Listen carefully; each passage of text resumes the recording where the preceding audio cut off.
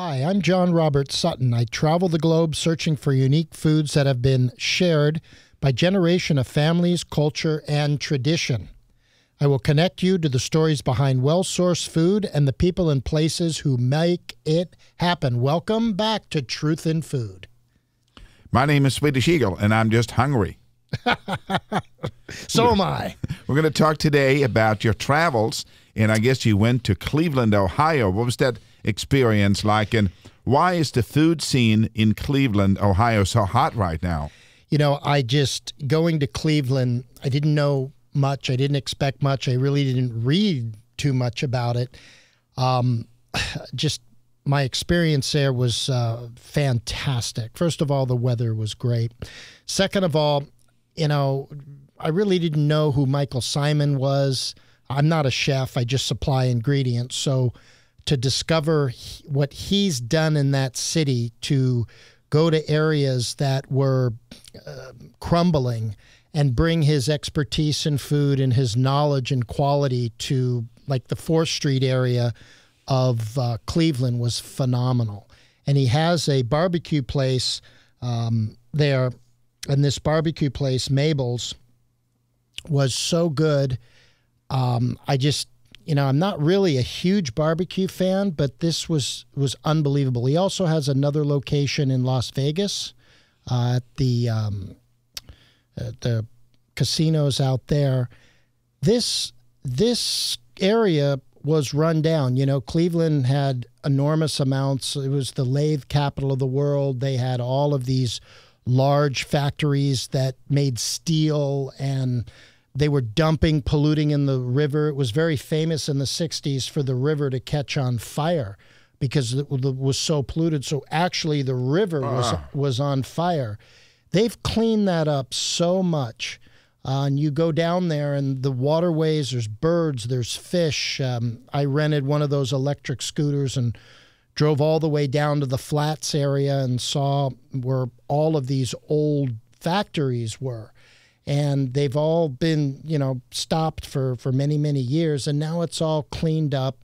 Restaurants have gone into these locations and have created unbelievable places to eat and really unique buildings to come and take a look at and eat inside. Oh, okay. And that's what Michael did. You know, it's interesting. If you just come to a major city like LA or New York, it's so expensive to rent. You know, your rents are twenty, thirty, forty thousand dollars a month if you're lucky. Yeah. Um, the amount of labor because you got to pay somebody a living wage in those cities. Right. So if you have quality food and you go to a place like Cleveland where it's just rebuilding and coming back, you're getting unbelievable deals on buildings that are are abandoned essentially. Right. And labor there is is very reasonable because your rents aren't, you know, $4,000 a month there. The rents are very reasonable and you're living in a home.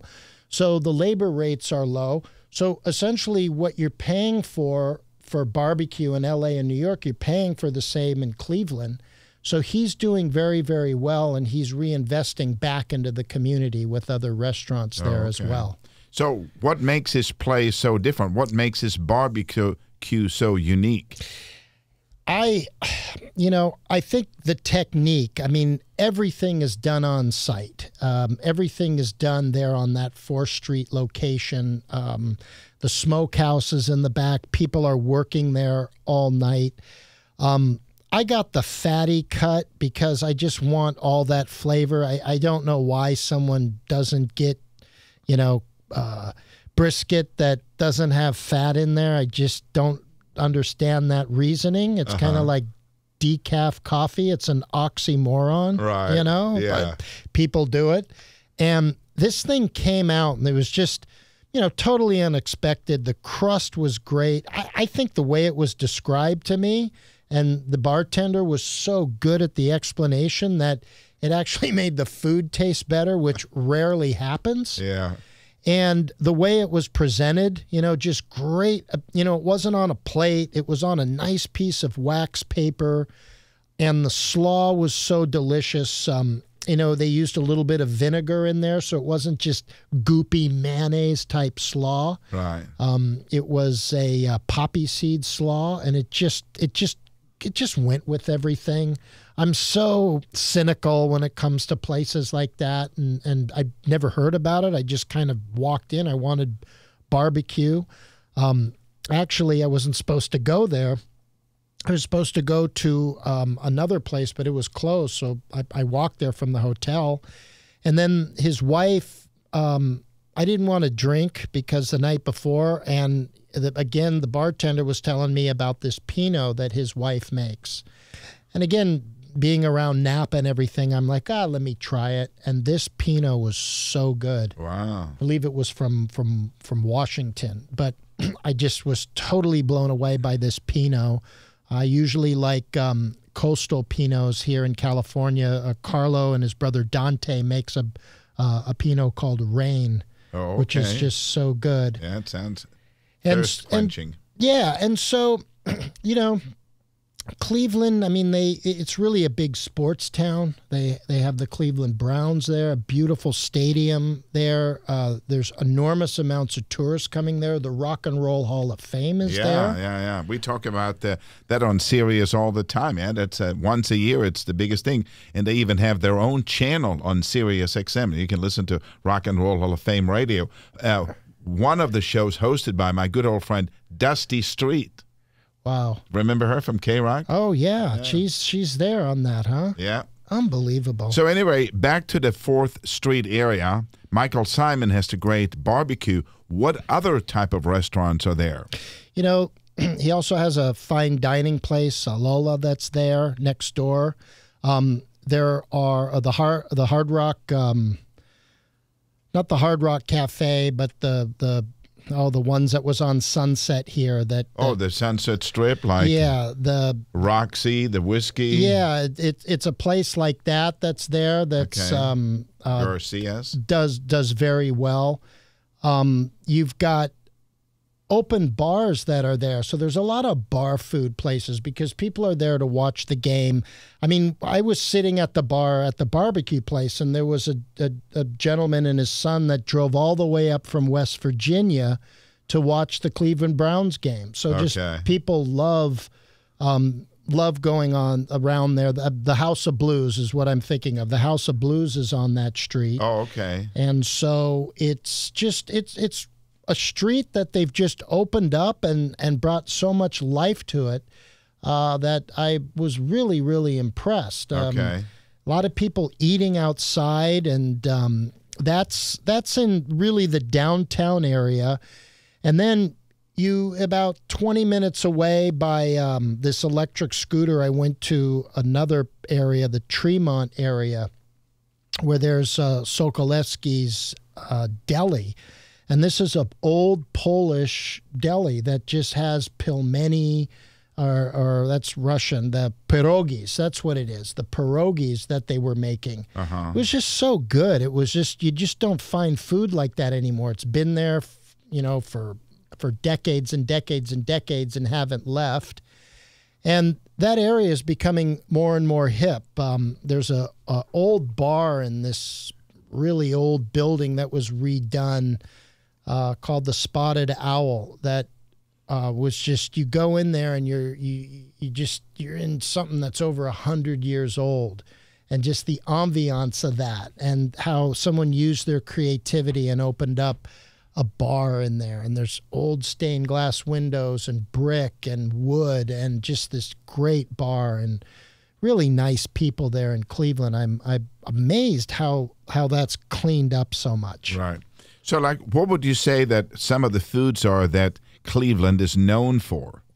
You know, Cleveland is definitely known for corned beef, and there's a place that um, Slyman's has the best corned beef sandwiches in the country. Okay. huge, giant corned beef, so they're they're really known for that, and that's where Cleveland has an enormous amount of Irish heritage. Oh, okay. So a lot of Irish and Polish came from different parts of the world, and uh, these uh, Polish food, the um, pierogis that are there are, are very well known and delicious, Okay. and also bratwurst. Okay. So um, I had uh, I had bratwurst at Mabel's. I first had the brisket, and it was so good, and I'm like, okay, you know, let me get the bratwurst, Right. and and it was the best sausage, the best bratwurst I've had in the U.S. No question about it. The casings were great, and they they have this huge market called the West Side Market. And it's it's a food market. It's a huge food stall. It's very very old. And you go in there and there's these all these original families have these stalls around and they're selling fish in there. They're selling a lots of pork products, a lot of sausage. And there's a very famous place in there that that Steve, he's G- Greek, and there's a hero place on the corner that just has this massive line. This guy's got this little stall, and he's just cranking out heroes until he closes or until he runs out. Okay. And when I was there, it, he had run out. I mean, there was nothing left. wow. Okay. so it, popular item. it must be really popular, but I wouldn't think having a Greek hero in Cleveland would be something on the map, but I would have tried it. right. But you really see the care in in the food items. I mean, there was this Irish stall, these young ladies, um, heritage from Ireland, and they had soda bread there, Mm-hmm. Irish soda bread. And it's a little alkaline, but it has this addicting taste. I've always liked soda bread with butter. If you don't have butter on soda bread, then you know, throw it out. What is soda bread? You know, it's it's an Irish bread uh, made with with wheat and soda. You know, soda powder in there that they stir together and has just a really alkaline, you know, soda type taste in the bread.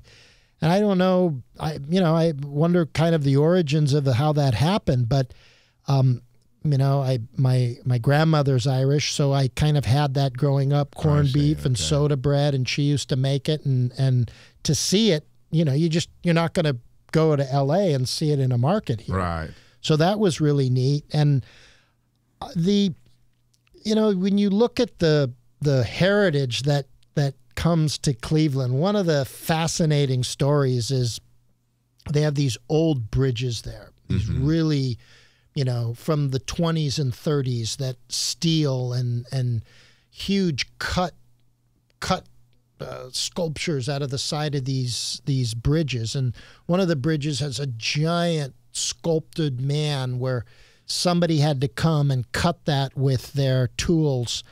And when they were building the bridge they asked they they asked for people stonemasons to come out and this guy from England got the job and he brought his whole family from England to Cleveland to cut and work on this bridge and that was Bob Hope's father What? yeah. Really? Yeah, that's how Bob Hope came to America because Wow. his dad got a job cutting this statue on a bridge that they renamed the Hope Bridge Oh, okay. Oh, not that's so long incredible. ago. So that bridge is named the Hope Bridge after his father was the one of the ones, the Yeah, yeah, stonemasons who cut that. Yeah, see the benefits of bringing in people from all over the world to America, right? Absolutely. If if if somebody wanted to keep those people out, we wouldn't have had a Bob Hope. Yeah, I know it's We, terrible. we wouldn't have had Santana. It goes on and on and on. so I heard that Cleveland is one of the top ten food cities in America. What do you think makes it that? I just think of, uh, of this culture, uh, the the Irish, the Hungarian, the German culture that came in and worked in those steel mines, and you know they they have these pasties. Uh, what a pasty is is it's a it's a dough filled uh, item with little edges on the bottoms. Um, so it's clamped down and there's edges on the bottom that you can hold and eat it. Why those crimped edges are there is because remember, these people were working in the steel mills. Their hands were dirty. Right. So they could hold onto those edges and eat everything else and not what was in their hands Okay. and they were very strong. So. Uh, sausages that you could put in your pocket and bring to work, wrap up, and you know, remember a lot of people would eat these things at their lunchtime at the factories and stuff. Right. Okay. And so people brought all those traits to Cleveland. right. And Cleveland, uh, or where the, uh, mo- a lot of the railroads from the east and the canals all joined together. Uh, and that's where Rockefeller, why he built Standard Oil, the headquarters was in Cleveland. The largest refinery in the world was Standard Oil Refinery number one. Okay. Because all the railroads would bring the oil from Pennsylvania, from West Virginia, from the Ohio Valley, all the first original oil wells. He brought all of that through the railroads to Cleveland to, to make the oil. And the same thing with the food companies. So all the food companies would bring the raw ingredients, the wheat, the hogs, the everything for bread, for ah, see. pork, for for meat would all come and there was a lot of packing houses there as well. Oh, okay. And so from there, the oil was refined and the gasoline went out, and the, the steel then was put on rail transportation. And so was a lot of the processed food companies from there as well. Okay. So, are there um, any other food traditions like, uh, you know, do people like uh, Asian food? Do people like Mexican food? Do people like uh, Scandinavian food? You know, there's a, a, a lot of those there, but I really saw more of the just kind of the meat and potato type food. Okay. Um, there's you know the there's a famous place there, the Bourbon Street Barrel Room, which again is in that Tremont area, and they just have your your bratwursts, your meats, and you know your uh, dip sandwiches and things like that, plus just good old bourbon, good old you know whiskey, and it's Okay. a it's a drinking town. I mean, it is a drinking town. You I you go there's so many bars and restaurants. The bars are filled. The original beer company, some of the beer companies are there. The craft beers up in the near the West Side Market up in that area. oh, okay. And you just see people, it's a huge sports town, people wearing their jerseys. Uh, Cleveland was playing um, that Sunday, and I was there the Saturday. So you just, it's a big sports town. And a lot of people, you know, you see a lot of people driving Harleys, but it's not the younger generation. Okay. You know, you see the older guys out there um, driving their Harleys around, um, having fun. It looks like they don't have a helmet law there, which you know is probably not Maybe the not best idea. idea. But people are driving around without helmets, and um, it's a, a it's a town that again it's so sports oriented. I mean, so many people where you go in and, and so many bars have four and five televisions of, of every game imaginable on college, you know, from Ohio State and Notre Dame and everything. And So- people are so- drinking. Uh, So, what would be some of the most popular foods in those places? You know, just a good old bratwurst, you know, not a hot dog, it's just a good old bratwurst sandwich. Okay. A corned beef sandwich, you see. okay. a lot. You know, just your regular um, uh, hamburgers, hot dogs. You're just good old, good old bar food. What about vegetarian food, vegan food? Not so much, maybe. No, I, I, you know, there are vegan choices, but I just, it's the type of thing where I think you mentioned still you're a vegan there and you're going to kind of keep that in the closet. Keep that to yourself. huh? You're going to keep it to yourself. I don't think it's uh, something to be so proud of over in that part, you know, where, where, where meat and potatoes are all over. But it's a good meat. Like the casings are all natural. Like you, in front of your eye, you're watching them grind down the pork and grind down the meat and use the spices in the sausage. So it's all right in front of your eye. There, there's really nothing to hide because it's so competitive that if you have a bad product, you're not going to survive in Cleveland. Right. You know, um, there's just so many choices of new restaurants that have opened up, sandwich shops, your old traditional go to places, your local pubs that if you're going to open up something new, it better be good or you're just not going to survive there. What makes a good corned beef sandwich? Like if you get down to the details, what you know, what kind of bread do you have? Mayo? Do you have pickles? Uh, what you know? What makes the one beef better than another? You know, it it's about the quality of the meat and it's boiled, you know, so it's boiled and steamed. And it some people are uh, and and a good the bread mostly it's the rye bread that's on there and if you have traditionalists just want the corned beef on rye bread and there's enough juice and and spice in that corned beef to make that sandwich good. Then it can go into overdrive where you've got mustard and mayonnaise and filled with sauerkraut on there and a toasted bun and you can just go into overdrive and some people like that. Um, I just like the good old if if the corned beef is good and not tough, so much of it is tough where it's just like chewing on a tire. Mm-hmm. The, the the the rye bread's no good. Um, you know, to this day in LA, to me, I, I, I, still like Nate and Al's. Whenever I'm in Beverly Hills, I still get a loaf of their rye bread and have them slice it thin right. there. To me, that's just incredible. Where there's that, that when you chew through it, that the crust has to be tough, yeah, you know, but tasty, the and then the inside soft. soft. Yeah, yeah, yeah. And they just nail that. But that's bread made that day. I mean, yeah.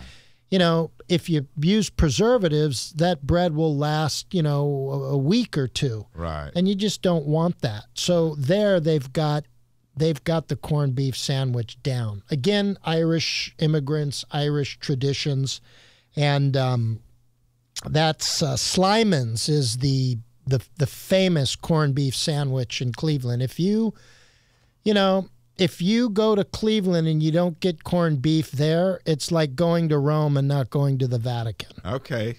You know, it's just when in so, Rome, have a corned beef and slides. okay. so, what kind of history do they have? You know, I you know what? It's interesting. I I didn't really get into it. Um, I just didn't have too much time, and I know it's been there for you know many many decades and years, and a lot of these places I don't really if it's good and someone tells me and I go and eat it it's really what I like to do. Came I, highly recommended. Yeah, came recommended. I didn't it's a good thing to go back and really look at what they were. I think in Cleveland I was just amazed how beautiful this city was. Yeah. I was amazed I think even Clevelanders don't understand what they have. I mean, I felt some of them were almost apologetic. In fact, when I was sitting at the bar and talking to these guys from West Virginia, uh, they asked me where I from, and I said I was California. And the first thing they said is, "God, did you take a wrong turn or something?" and I, I, you know, so there was almost a little bit of an apologetic to, that I was there. Not so. I I was I love those newly rebuilt old factory buildings. And I love how they redid the river areas, the flats. It's an old Irish town. And you could tell because you go down there and you see a memorial for the Irish famine that's there. Oh, okay. In the middle of nowhere. So they have a memorial for you know all the people that died right. and were starving and and had to get out of Ireland and come to America. And you know they were starving. They had nothing. There was nowhere to go. And the mothers and the fathers heart-wrenching stories putting them on boats and coming to America sounds familiar doesn't mm-hmm, it yeah. And so you you know you look at what they built and you look at what these new generations are building and you know that's what makes America great. Yeah. And those food traditions coming in are, are the Irish food traditions corned beef and cabbage and soda bread and all these unique Irish food items that are just so delicious. And, you know, again, here you are with, with I think a lot of people weren't, because since I'm not from Cleveland, I was going in areas that I just loved and enjoyed.